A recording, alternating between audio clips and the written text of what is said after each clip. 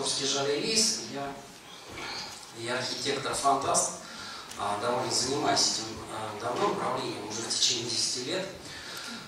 Вот. А в, в данном форуме я вижу уникальную возможность вообще продемонстрировать обществу какие-то совершенно новые отрывные идеи, не только градостроительные, но и объемно-планировочные всякие решения, которые могут вдохновить общество на, собственно говоря, моделирование новой городской среды обитания. Потому что то, что мы сейчас имеем сегодня, на сегодняшний день, а, в таком средневековом аспекте, в этой а, такой зажатой кольцами, а, сказать, уплотненной Москве, средневекового такого построения, конечно, дает мало возможностей и люфта для того, чтобы, ну, как следует, там, какие-то произвести градостроительные масштабные эксперименты. То есть это какие-то такие получались в свое время при Лужкове вырезанные куски из ткани города. Ну, здесь уже не раз упоминался Москва-Сити.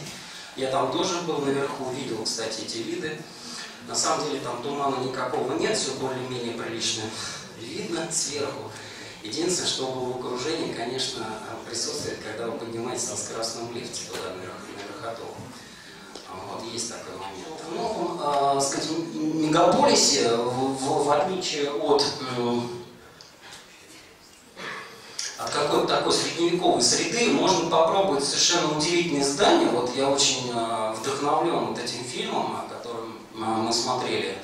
Ну, у нас Новориан, это потрясающе совершенно, потому что моя работа, собственно говоря, как эстафета и продолжение этих рассуждений, потому что, собственно говоря, в Москву, э, я считаю, что вообще Москва может стать таким мостом между Востоком и Западом, где а, надо продемонстрировать э, обществу совершенно какие-то новые интереснейшие проекты, а не какой-то такой, знаете, вот сводить полемику, знаете, к велосипедным дорожкам, там каких-то коров давайте разведем, кур там, разбредемся по малоэтажным домикам, там начнем садики выращивать, натуральные яблочки будем собирать. Это же, понимаете, это немножко такой патриархальный какой-то взгляд на общество а, средневековое опять. Он, как мне кажется, он себя изжил. Я очень хорошо к экологии отношусь, но экологии, экологические проблемы можно разворачивать с разных углов зрения.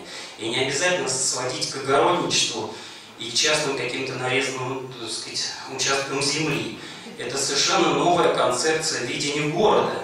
И надо этому учиться у европейских мастеров, у тех же, например, голландцев, и в Европе очень много интересных проектов на эту тему, которые э, сводят не, не каким-то там озелененным э, участкам и выращиванием цветочков, а совершенно новому, э, сказать, проветриваемому, чистому, красивому, э, сказать, насыщенному зеленью, какими-то зонами рекреационными э, невероятными, которые а, вползают в градостроительную ткань, такая легкие, своеобразные, такие отдушины.